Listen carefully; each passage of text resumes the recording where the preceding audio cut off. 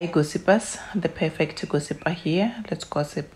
Gossipers, do not forget to subscribe on the channel and to like this video. Babes Wodumo shocked her fans with a recent picture. The wife of the late musician Mampintsha breaks the internet after posting the picture that shows her Nunu and her fans got mixed emotions with her behavior. Some are saying that she was not supposed to post that picture. You are a mother and a widow. I'm definitely judging you. Now this is not it. For the first time I'm being judgmental. This is indecent kodwa, especially when you are a mother. Ahlala njengentombi. Wear your shorts, we don't mind, but.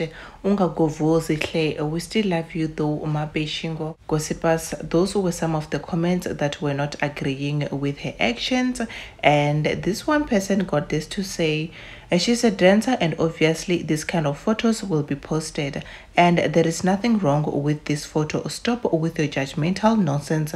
Let babes be yo can she just be happy gossipers unfortunately i can't post that picture here but you can go on on her page and check the latest picture that she posted while wearing a short. That is the one. And please do let me know if you agree with her posting that picture online or you don't. Down on the comment section don't forget to like subscribe click on the bell so y'all will never miss an update from this channel by gossipers cheers